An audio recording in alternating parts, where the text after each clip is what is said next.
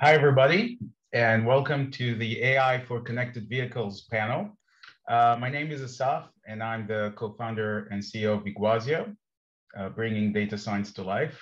Um, with me today is uh, uh we have a group of experts from NetApp, NVIDIA, and uh, Strategy Analytics. Uh, we'll be discussing, we'll discuss today um, um, different aspects of um, the whole space of connected vehicles and what does it mean when it comes to applying AI in the space? What does it mean in terms of data?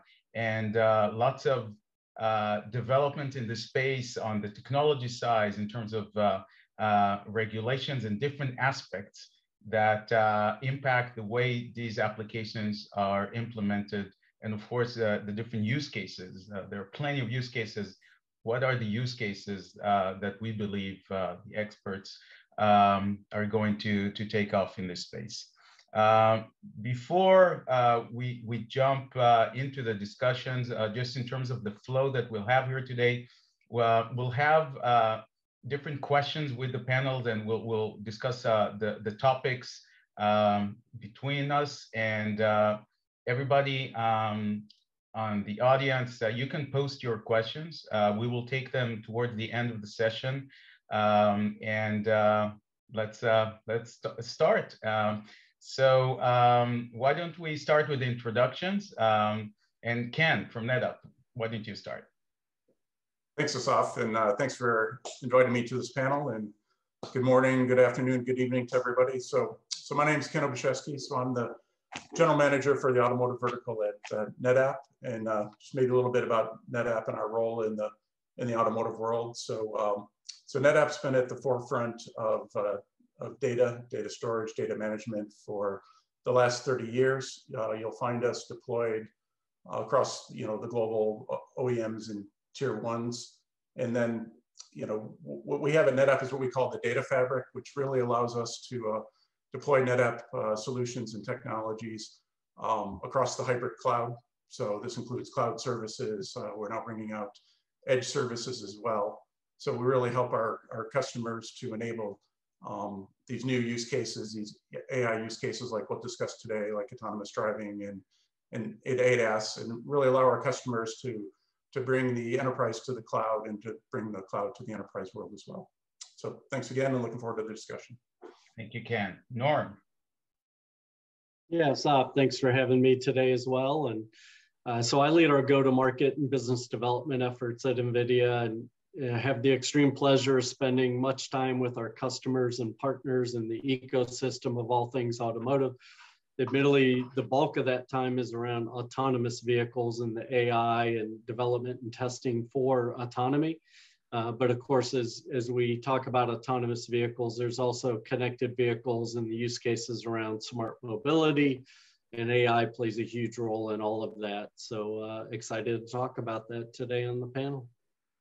Thank you, Norm. Uh, Roger? Hi, Asaf. Uh, Roger Lanctot, Director of Automotive Connected Mobility at Strategy Analytics. So we're looking at all of these technologies, how they're being deployed in vehicles, how they're being leveraged to enhance the driving experience, maybe uh, from an infotainment standpoint, but also perhaps more importantly, from a safety standpoint, enabling new kinds of solutions and a more engaging driving experience, uh, maybe a more collaborative driving experience. And so uh, we're advising our clients on, on how to implement uh, these technologies in vehicles. Excellent. Um, so just, just before we get into the topics, I just wanted to kind of set the stage. Uh, and it already popped up um, in the in the intros. There are so many terms, so many buzzwords, and we'll cover that today. Uh, you know, we heard autonomous vehicles, connected vehicles. Um, uh, what does it mean? Uh, uh there are implications around data locality. Uh, where what does it mean in terms of where is data being processed? Uh, we, we see a lot of discussion about uh, is it a fully cloud implementation or what, what's happening at the edge? And how do you define the edge? All of these terms will try to make some order today and come up uh, with recommendations and perspectives from the different companies. I think the mix here of having um, experts that are independent advisors for the automotive companies, and then companies uh, like NetApp that are leading uh, their space in data, and uh, uh Norm from uh, uh, NVIDIA, where you know you say NVIDIA, you say AI when it comes to uh, their solutions all around their GPUs across all the areas uh, from the vehicle all the way to the cloud and everything in between. I think uh, we, what we're trying to, to help people in the industry is to, to focus on areas and things that you may have not uh, thought about uh, when it comes to kind of the, the entire spectrum from what's happening inside the vehicle and all the way uh, to the cloud and the areas in between, whether it's um, um, MECs, like mobile edge computing, all these towers in between, and then you have regional data centers. So hopefully by the end of this hour, we'll have things a little bit clearer because we know there's lots of confusion in the market and uh, we see great stuff happening uh, with our customers and partners. So we'd like to help everybody else here. Uh, so starting with, with, uh, with these terms, so, so Norm, let's start with you on, on how you define, uh, how you explain the difference between connected vehicles, autonomous vehicles, and also in the context of, of the edge? Yeah, I think it's fair to ask the question because if you were to ask 10 people, you might get seven or eight different answers. Um, so I'll just give you a few of the answers, not necessarily my definitions per se, but you know, when we think about the autonomous vehicle itself, we think about you know the centralized architecture that's required for a, a central compute uh, to be able to run that autonomous vehicle and then the AI to be able to drive an autonomous vehicle. And we're connected, um, oftentimes I see it coming in is you'll hear NVIDIA, whether it's Jensen, myself, or the rest of our team, talking about software-defined cars. And really, this is where connected comes in, and that we're going to continue to develop the AI, and the AI is going to get better over time. So that vehicle we buy will be at its worst in the future when you buy it and we'll use connectivity to flash the vehicle with updated AI and DNNs that can propel that self-driving car in a much safer manner over the life of the car. And so I think that's the first uh, place where we see connected and autonomous cross. But then, as I said in my opening, you know, I, I see the connected vehicle, whether it's autonomous or not today, and whether I'm pushing a blue button while I'm driving or, or in the absence of that, being able to leverage data inside the vehicle, whether that's to predict maintenance, which is probably one of the most popular use cases, and I think we'll talk more about that. Um, but just being able to leverage that connected vehicle from everything from AI, whether it's in the vehicle itself with the customers and passengers in a self-driving car. Um, and certainly this is where you'll see, and I think we can talk more about this in some of the panel questions, you know, the ability to have the edge in car for things like AI cockpits of the future to um, a centralized edge where we're having to take data from fleets of vehicles and to be able to make sense of it. So I know we'll talk much deeper about it, so I'll just kind of leave it with the definitions for now and then get into the use cases later. Sure. Uh, Roger, your perspective, please.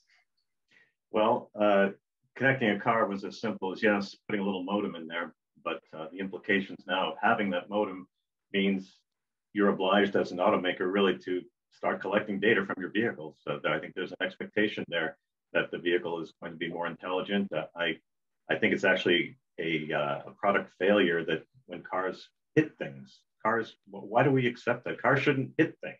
That should, shouldn't happen. And I think we're going to put that uh, edge computing and AI to work in the vehicle to help put an end to that running into cars. Just just shouldn't happen. I almost hit a car in a parking lot this weekend. Uh, but the regulatory environment is very conducive to this uh, activity. Driver monitoring systems uh, will be required in the future. You know those kinds of requirements coming out of Europe.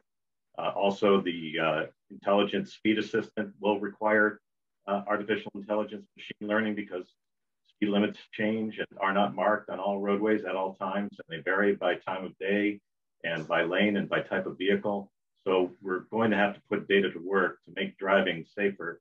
And the network that we're using in that connected car, uh, 5G, is, is no longer going to be kind of a lean back, uh, network, a wireless network. It's going to be a very alive network, very low latency connections uh, with uh, some intelligence on the edge and uh, faster communication to other vehicles and, and uh, infrastructure and, and vulnerable road users. And AI will be there to, to, to leverage the, that data that will be created in the vehicle and off board. Yeah, so we will we'll touch upon 5G later on. I mean, this is definitely something in that I see that is uh, dramatically going to change this place or will will enable so many new things, but also architecture-wise, it has a lot of implications. Ken, your perspective uh, on this? Yeah, and I think uh, you know probably most people when they think of connected cars, they think of use cases like you know uh, I left my keys in the car, I need to unlock the lock the vehicle, or maybe I get a software update to fix software bugs. But I think where we are now on the technology spectrum, both with the advancements of AI, um, you know, really the evolution of the cloud and, and um, you know, the automakers starting to utilize the, the cloud and then even adding the computing capability in the vehicle as well. I, I think will really take a transformative step in terms of what a connected car means to, to folks. So I think instead of kind of unidirectional, you know, communication to the vehicle, now you'll tr truly have, uh, you know, the data from the vehicle, as Roger mentioned, um, being utilized by, by the OEMs, and then the vehicle truly becomes a learning, a learning device.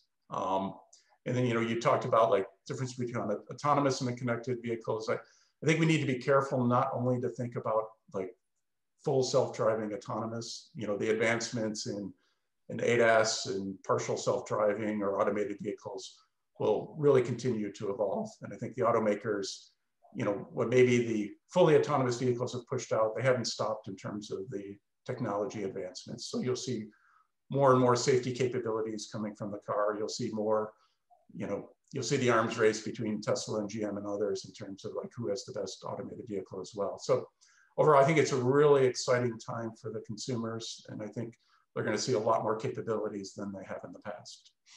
Yeah, so I mean, I, I, I completely agree here. I mean, uh, I, recently had a conversation with one of the, the European automaker CEOs, and it was fascinating to see on one end the, the risks that the automotive companies uh, are facing now with everything that is happening around uh, uh car sharing and what's going to happen there? Aren't you going to own a car? And at the same time, these cars are becoming like their iPhones.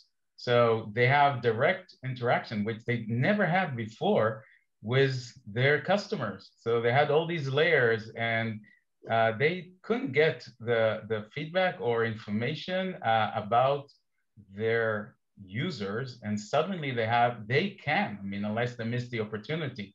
I mean, we see how Apple with CarPlay is getting, they're collecting information about how I drive, not not Audi that I drive. I mean, uh, so I, I, think there is such a interesting period for the uh, automotive industry, and, and that brings uh, the, these uh, new uh, use cases. So, Roger, your perspective on the the orders of adoption of use cases that we'll see in this space in with within connected vehicles. Well, I, I, I, think one of the big turning points uh, that, that has sort of quietly happened out there uh, touches on what Ken was referring to, which is this sort of semi-autonomous driving capability. Some people call it uh, level two plus, where this is manifest with GM's Super Cruise, where if you're paying attention, uh, you can take your hands off the wheel while you're driving in certain areas, thousands of miles that have been that have been mapped out. Now, in order to have access to that that feature, that function, which according to their research and uh, based on some of the YouTube videos I've been watching, absolutely delights people. You need to have an OnStar subscription. You need to be connected because they have to keep updating the information infusing that platform. And in the same way, the uh, intelligent speed assist uh, mandate that's coming, uh, I believe 2024 uh, for Euro NCAP, new car assessment program, that will require connectivity to keep that data up to date. And uh, so connectivity is being implicated in safety. This is the turning point uh, in the industry. This is where we start paying attention to vehicle data much more carefully in terms of how we manage it, how much we collect, how much we transmit in real time from the vehicle. You know, in other words, what are, what are the use cases, the edge cases where we have to send that data because we're not going to just stream data from the vehicle, of course. And so this is transformative. This becomes, I can't just get by with connecting my smartphone in my car. I want access to these advanced safety features. I'm going to get, I'm going to pay the subscription for uh, the connected car solution. Or maybe I'm going to add my car to my wireless plan. Uh, this is beginning to uh, propagate around the world, the ability to just add your car to your wireless plan. If that can be done economically, uh, it makes perfect sense. And uh, it probably won't be too long. I just had a smart home system put in, you know, that will have this uh, car, home, and mobile device all on one plan, right? Uh, I, I, think that's where we're headed. Uh, Norm, uh, what do you think? well, Roger touched on the autonomous functions and whether it's level two plus or ADAS all the way up to level five robo taxis, I think the opportunities are tremendous. Um, you think about L2 plus, and, and I made a comment about AI cockpits of the future. It starts with, you know, distracted and drowsy driver uh, detection. So things like head pose, eye gaze, eye openness, gesture. Am I looking down at my phone, which my son constantly tells me not to do while I'm driving. Um, and, and so we start off with those types of features, but then I think about in a always listening, always watching world. And as we move from L2 plus to L5, conversational AI and recommenders are going to have such a terrific opportunity to listen to what we're saying without a, a prompt of an assistant to be able to tell the difference, Asaf, between something you might be saying or I'm saying, respond to each of us in kind, first with NLP, simple, you know, in, in today's stretch, but where it will go in the future to be able to then even make recommendations to us about what we might want to eat. Do we want to use the rewards points that we have?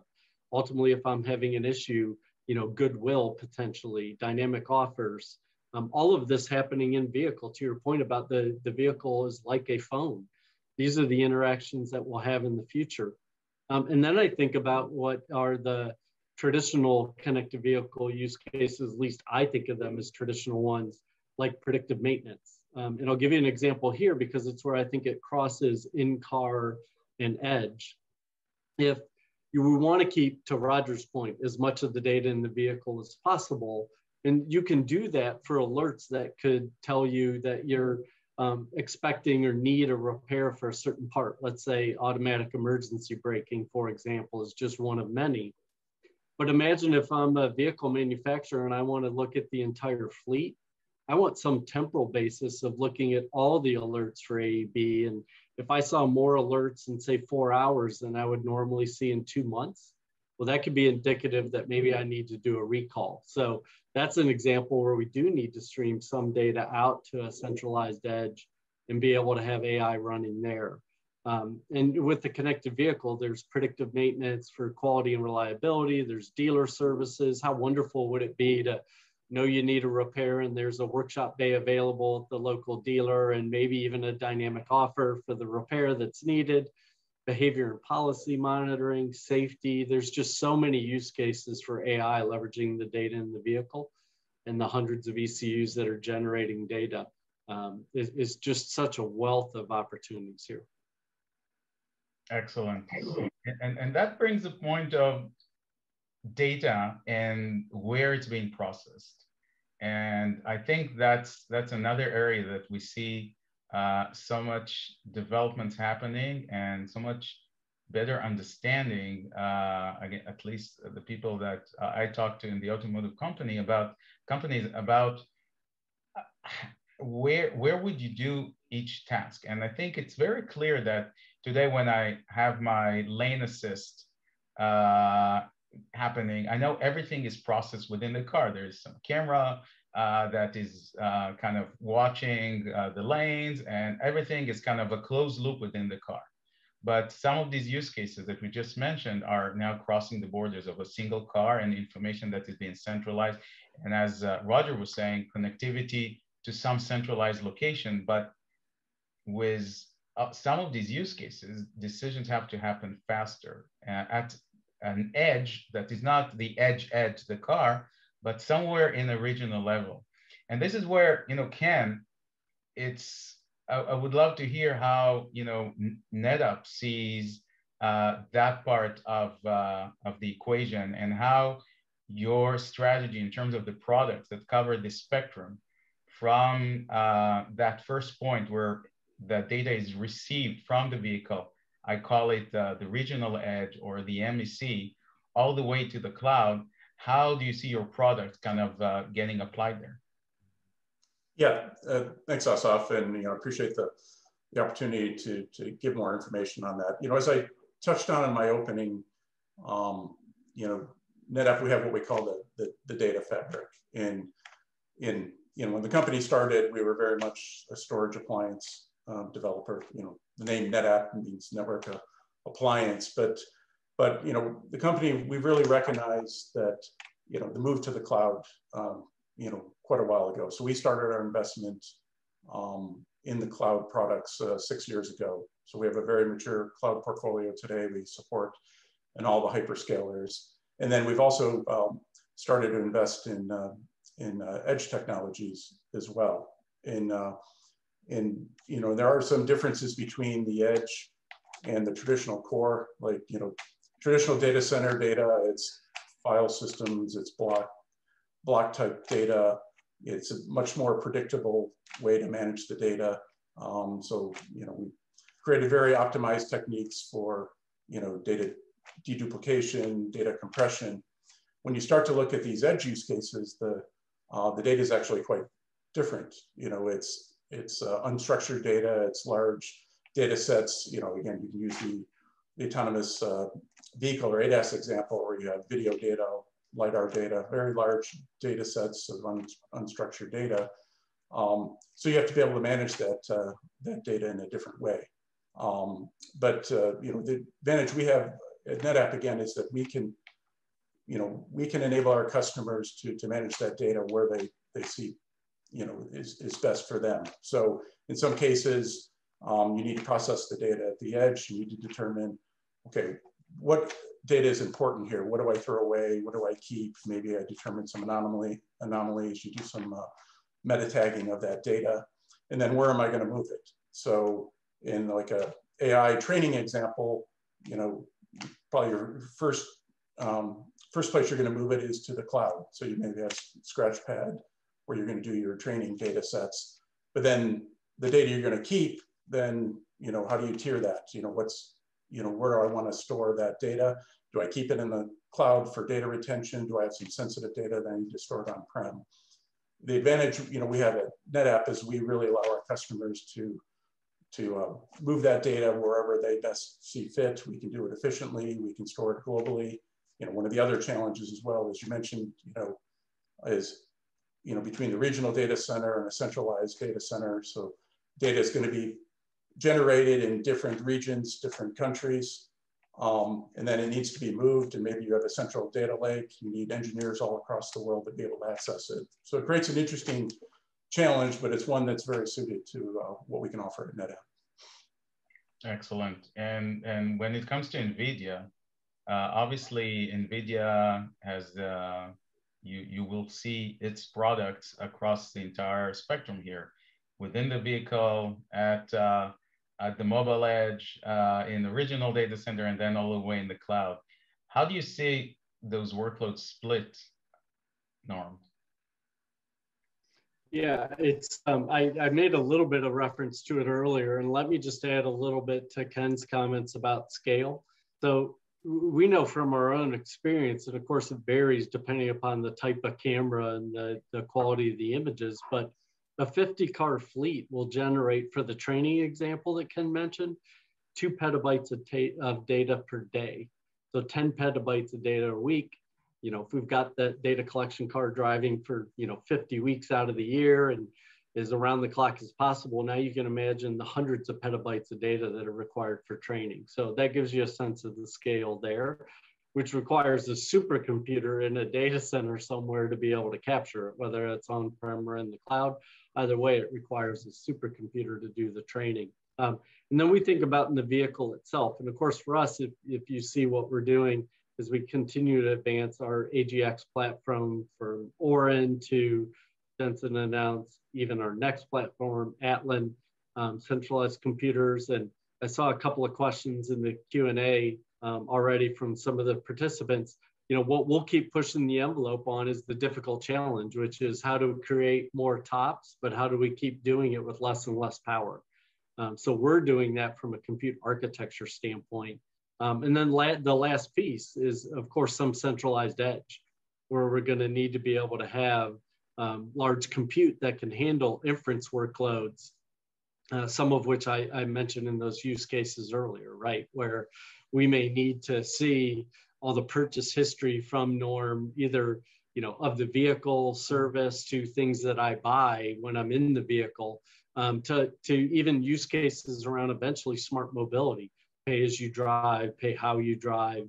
Um, there's just so many things that will need to go up to some centralized edge where you need to be able to have compute um, that can pro process large inference workloads running on AI. So um, the, the answer is you need a supercomputer to train. You need the, the best centralized computer in the vehicle with the highest tops with the lowest power. And then you need a strong um, compute sitting somewhere at the centralized edge, or I think Ken said regional data centers, and, and we'll certainly see that too.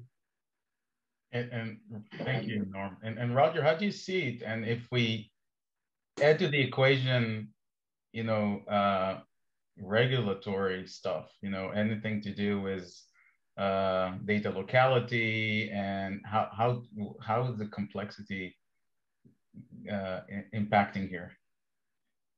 Well, whether automakers want to admit it or not, they've left the realm of plausible deniability once they have that connection in the car. And so they have an obligation to more or less convince or give the customer a good reason to pay for that subscription and, remain connected, uh, to have that device provisioned, because it's worth more to the automaker to be connected to that car in many respects than it is to the, to the customer. Uh, so that's why you have uh, in some instances, dual SIM solutions coming from the German uh, premium automakers, whereby they have one device that they're managing to get vehicle data for their own purposes, whether it's diagnostic or safety related. Because what's emerging is a, is a whole portfolio of safety applications that require gathering of the data, machine learning and AI uh, uh, development in the back end, which then results in an output that goes back to the cars or whether it's uh, coefficient of, uh, of uh, friction, so uh, tire grip indicators, tire pressure monitoring data, the speed, Uh, intelligent speed assist that I mentioned, uh, all kinds of collision avoidance applications, and then uh, edge outside the vehicle for applications related, and, and perhaps also in the cloud, for applications like signal phase and timing and traffic lights, so cars recognizing they're approaching an intersection. Uh, Tesla now is kind of flirting with this application. You approach a, a light and the car automatically slows down and then asks the driver in full self-driving mode if it's okay to proceed. So they're actually treating the driver as another sensor in the car. But one gets the feeling that over time, they will put that put the data to work uh, to anticipate what the, actual signal phase and timing of that light is.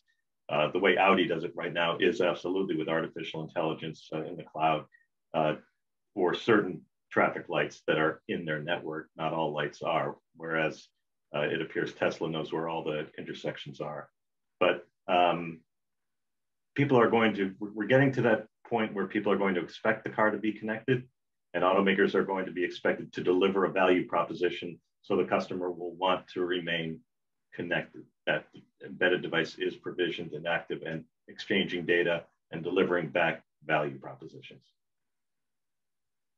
And, and if we if we stay on the, the topic of you know the separating this kind of a predictive maintenance network and all the other stuff, uh, would you kind of talk about? I mean, do you see real time aspects when it comes to the predictive maintenance? Uh... Well, well, let me, well, okay, two things.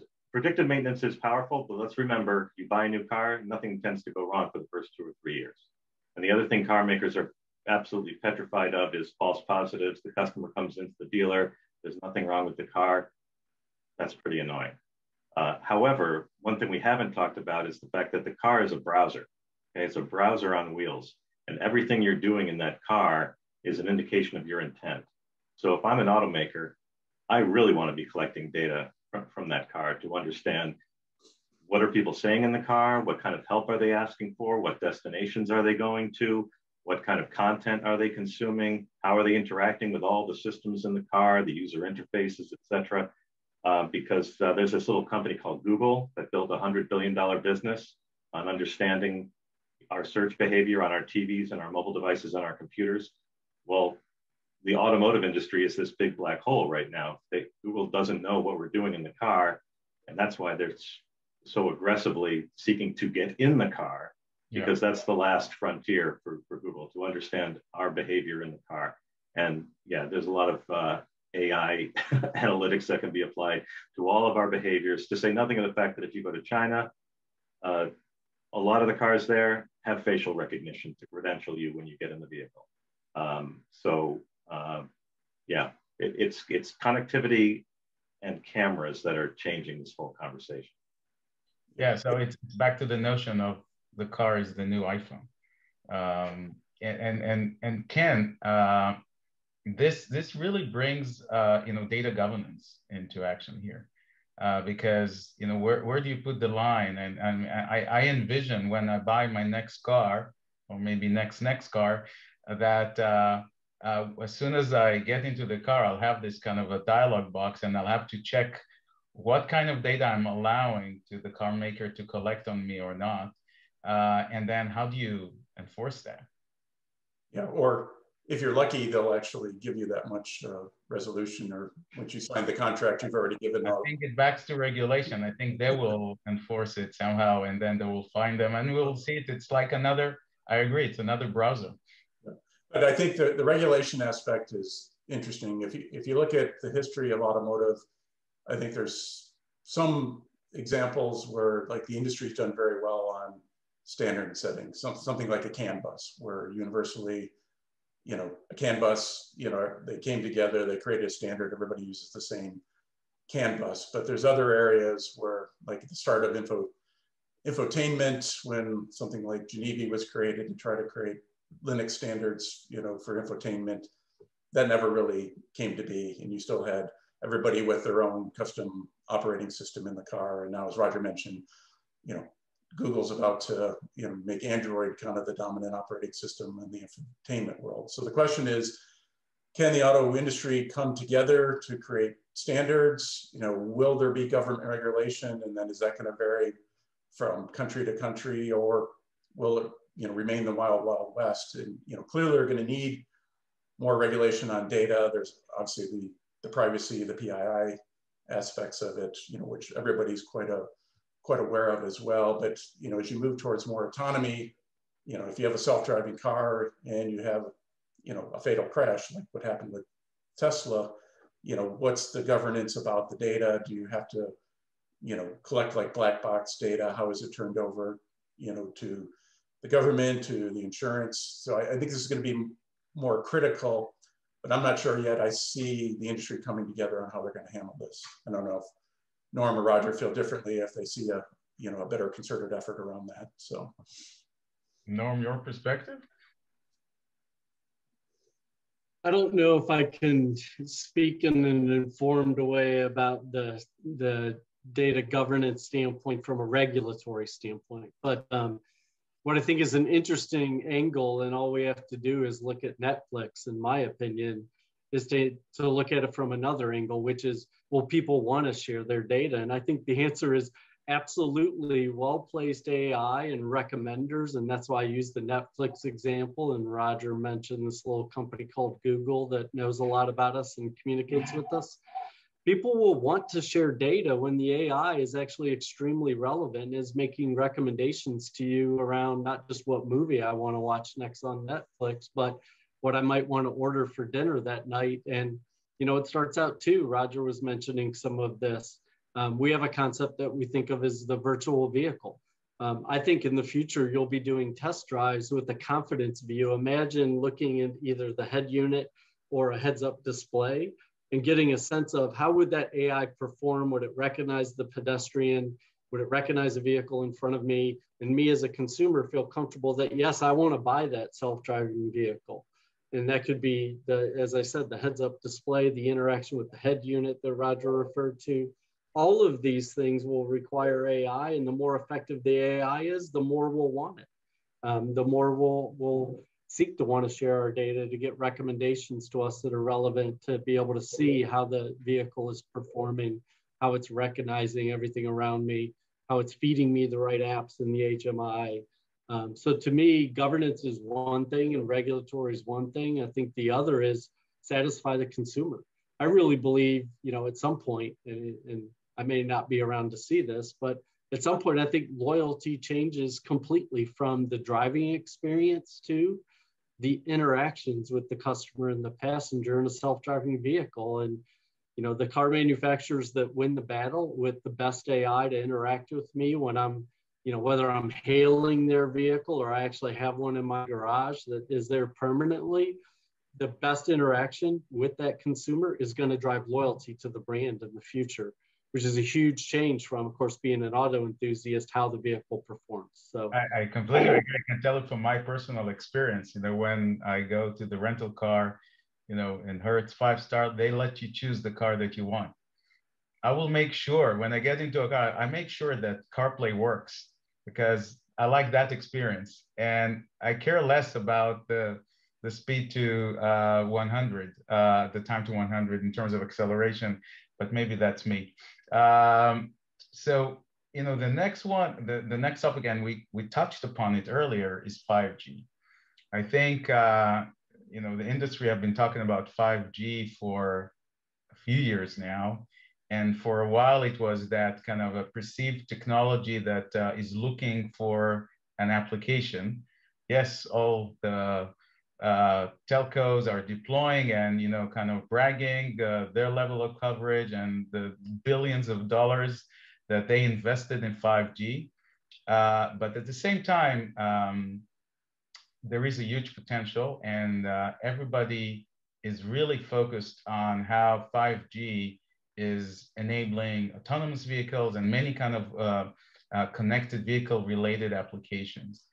And from my perspective, I think some people are kind of uh, missing uh, a, a, very important angle uh, when it comes to 5G. 5G, part of the benefit is the, the very low latency that it has.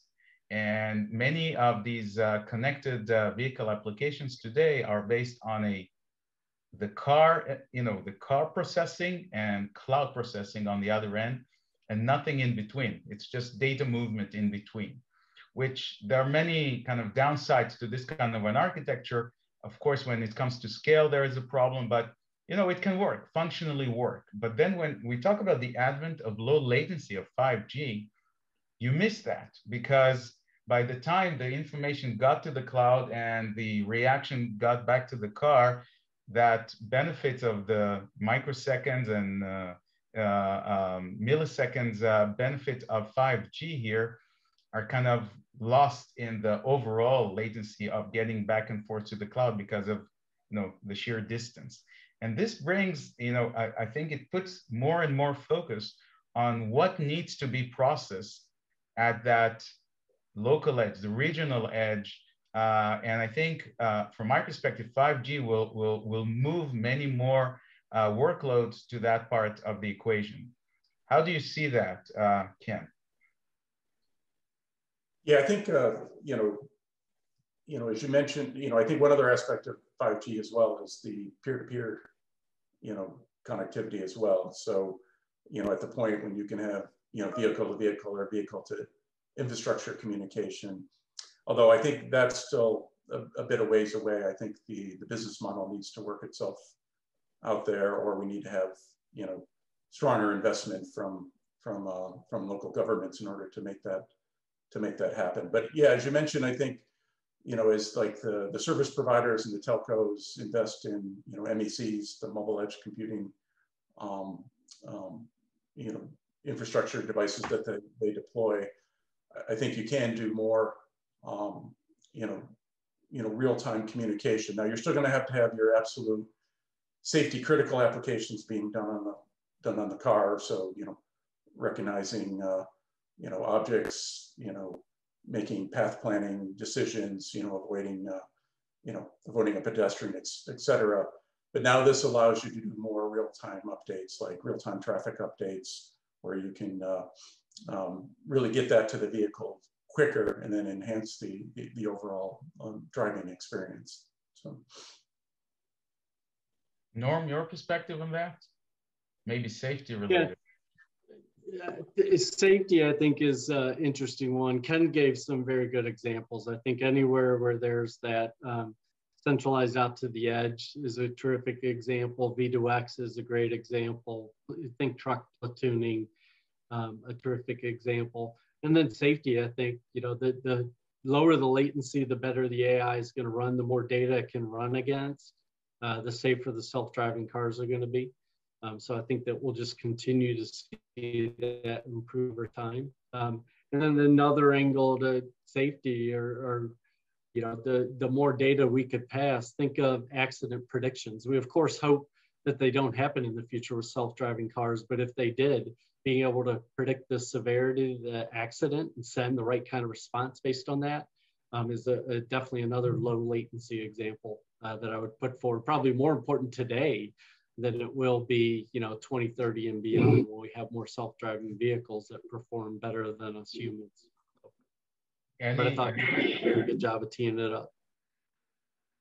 So, so Roger, any recommendations to the telcos uh, around 5G and how that should be positioned to, for better applications in connected vehicles? Uh, I, I, think the telcos uh, have the, their eye on the ball. That they're they're focusing on safety, so they're they're not so much you know talking about streaming movies and silliness like that. Although that is certainly possible in 5G connected vehicles.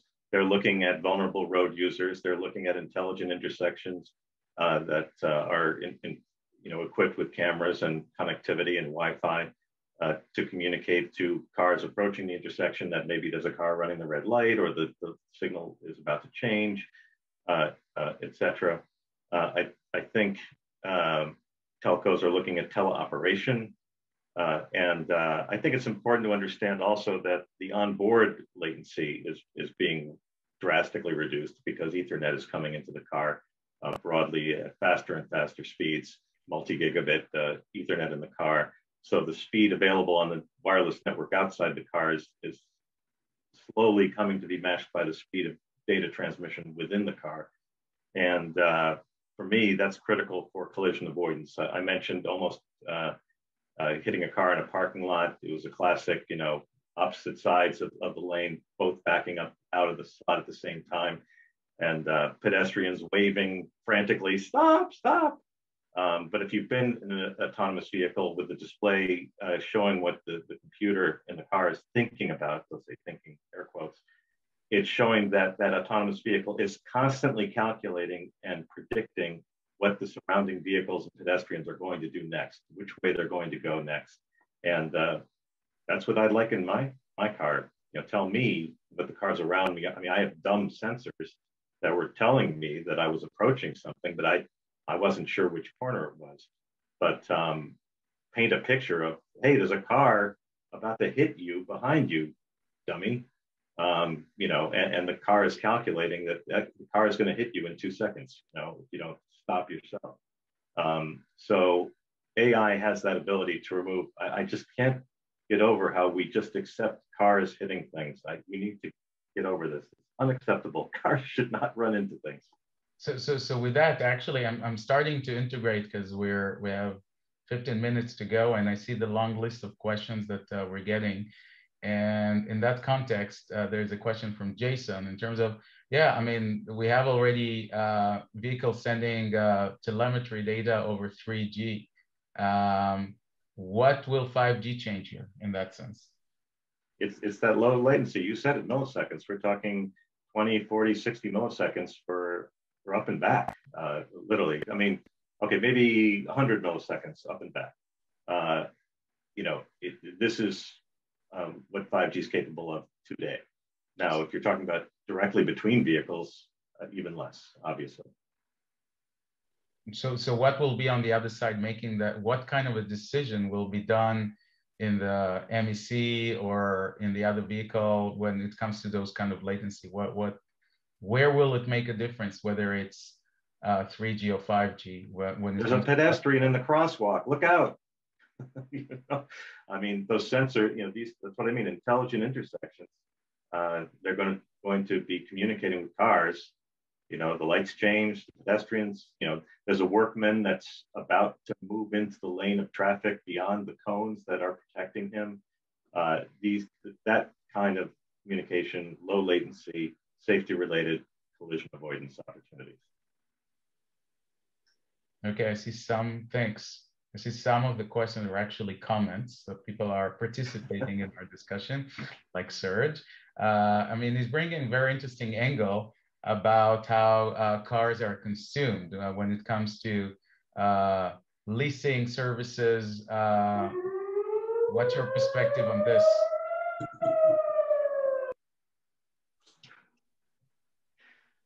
Uh, me? Uh, well, I, the area I'm looking at is different kinds of vehicle access scenarios of subscription, leasing, borrowing, sharing cars. Uh, and so AI will uh, be uh, working to better understand um, who the driver is, what their preferences and behaviors are, and uh, adjust accordingly. Yeah, if I might add to that, what you know that brings another interesting data challenge as well. When you start thinking about ride sharing, you know, you might have the uh, the OEM, you might have like somebody who's managing the ride hailing service. You know, as I mentioned, you might have insurance companies. So now you're going to be intermingling lots of different data sources. So how, how is that managed? You know, is it, you know, a managed in the cloud where all these different entities have access to it? Um, so it creates some interesting challenges both on data access, you know, privacy. You well, know, well, and and Norm, touched on it earlier, talking about, I mean, I think dealers and automakers are going to become fleet operators. So it's one thing to look at the, the individual data load coming out of the car. It's another thing to look at it fleet wide and, and what are the implications there. You know, it, something being flagged up that's happening across multiple vehicles. Okay, we, this is an item we have to respond to. We have to take action here. Uh, and then maybe you can mitigate those false positives, you know, sending somebody in for some attention that, you know, avoid sending somebody in for some attention that they don't actually need. Yeah, and uh, you know the fleet management could be predictive maintenance, like I was describing earlier, but ultimately, in a sharing economy, you know the fleet might be my little fleet. Let's say we're sharing cars amongst myself and my neighbors and how is it performing? Young driver travel heck i'm a perfect example. I've got four teenagers right now and they're all driving. I, I, I want to be able to know at all times you know how safe are they how are they performing? So whether it's a big fleet a small fleet um, i think there's just a wealth of opportunities to to be able to track data, not just from one vehicle, but from fleets of vehicles. And uh, today's world is about predictive maintenance, but in the future, pay as you drive, um, bringing in all the aspects of the sharing, the insurance, um, and then ultimately, you know, the rewards programs that I talked about earlier, and all of it tying together. Um, I, I, just see significant opportunities there. And I think another technology that comes into play here as well is uh, is the concept of the digital twin, you know, which is a virtual representation of a physical device. And historically, digital twins have been heavily used in automotive for like simulation for um, engineering. Now you actually see like Tesla has a unique digital twin for every every vehicle that uh, they, they put out. The other OEMs are doing the same as well. So you can have both a digital twin representation of a vehicle of a fleet where you can track you know, directly from the manufacturing process through the life of the vehicle. And you know, obviously this plays for predictive maintenance. You can look for trends in manufacturing that might have later uh, led to a failure in the field. Um, Norm, as you mentioned earlier, you can use that to, to really monitor the behaviors of the, the driver and the, and the passengers in the vehicle.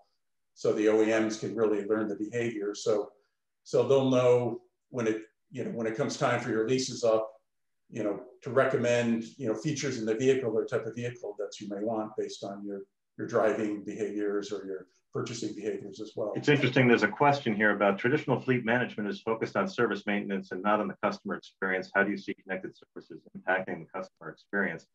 Uh, I would um, I would beg to differ with with that uh, that that it's strictly you know maintenance focused. For I, I mean I was on a fleet uh, webinar not too long ago where the, the focus today in fleet all the rage is video telematics. Um, you know that there was that big controversy when Netradyne did the deal with Amazon to put their four-way uh, cameras in the cabs, and some longtime driver quit because you know they're going to be monitoring the driving behavior. They're going to be there also for crash forensics. Uh, it's also no doubt there to gather delivery information, um, you know, where the proper point of delivery is, uh, as well as to detect driver distraction. I mean, a lot of applications that have nothing to do with maintenance and, and service of the vehicle. Yeah, I mentioned the conversational AI and recommenders earlier, and and I couldn't agree with you more, Roger. That's why I made the comment I did that I, I believe that AI for the customer experience will have more to do with loyalty to a brand in the future, whether it's the manufacturer or the rideshare, than um, than all those things that we in automotive have gotten used to. The performance of the vehicle, I think that goes that becomes secondary. It's the experience in and with the vehicle that will drive loyalty in the future.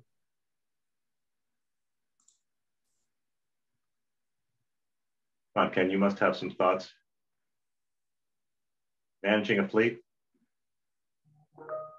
Yeah, I mean, I think, you know, you guys have, uh, you know, definitely uh, touched on it. And it, I, I think the other thing we have to, uh, to think about, you know, I mean, if you go back to like the autonomous driving, you know, right now, a lot of the, you know, a lot of work is, is sending out fleet vehicles, collecting data, and then analyzing that, uh, that data.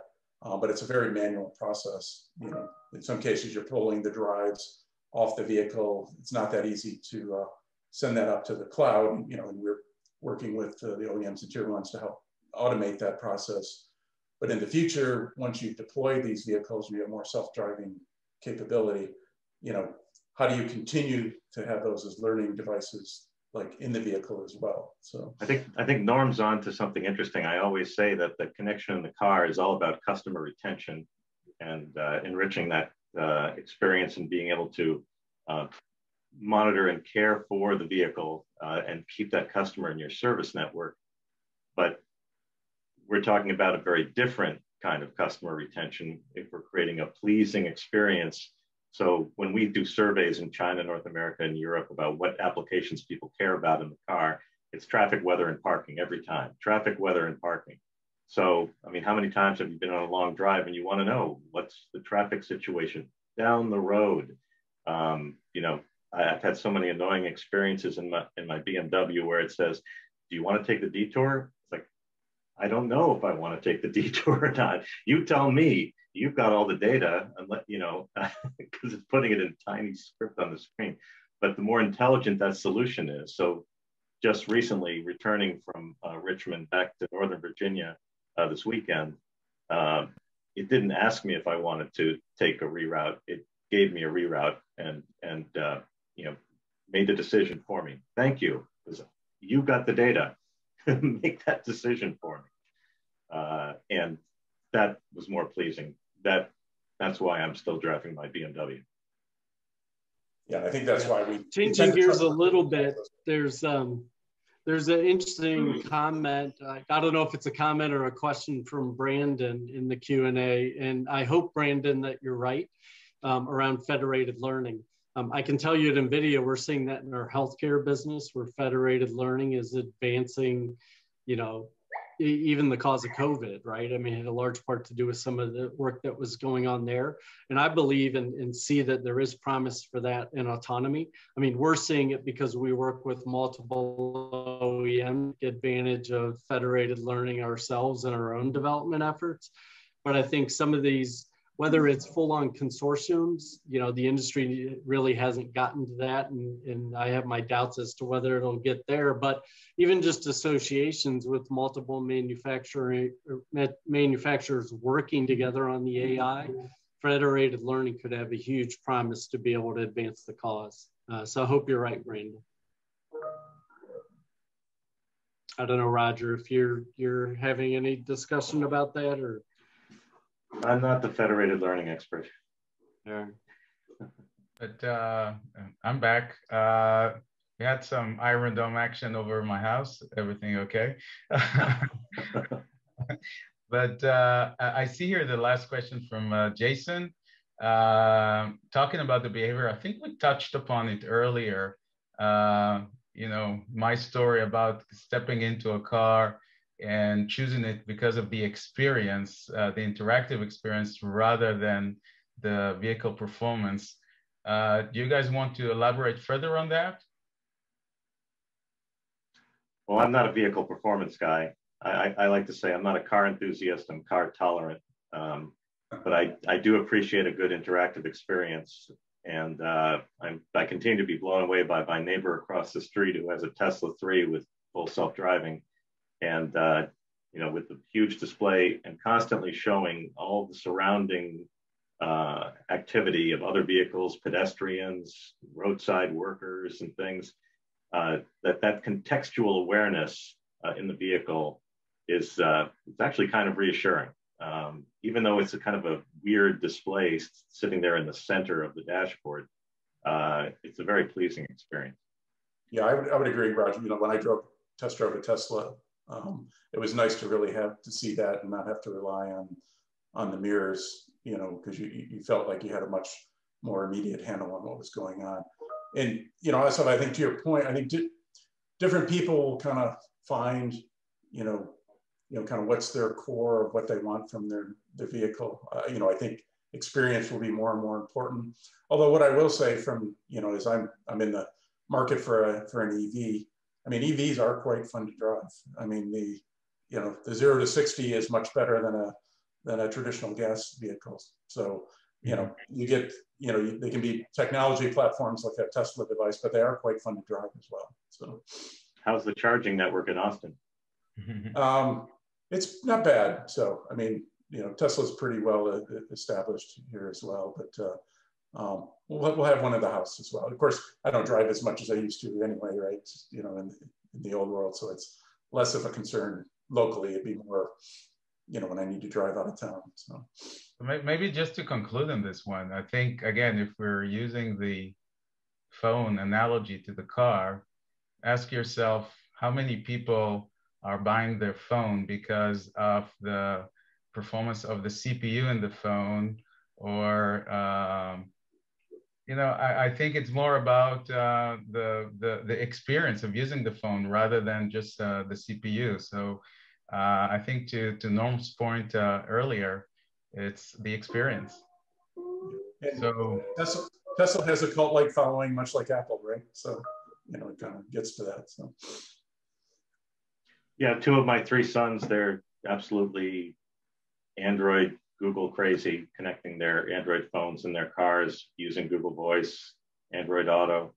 Um, so um, I don't know if their car is driving their phone purchase uh, choice or, or vice versa. I'm not quite sure. So I think we're at the end of the time here. Is that correct, folks? So looks that way. Yeah. But uh, great discussion, guys. I really enjoyed it. Appreciate all the questions from the audience. Uh, great engagement from everybody. So. Yeah, and thank you guys for joining today. Um, don't forget to join us on the MLOps Live Slack group so you can see where you can join us and you can learn more about this topic and many others that we will have coming soon. Ken and Roger and Norm, thank you so much for joining today.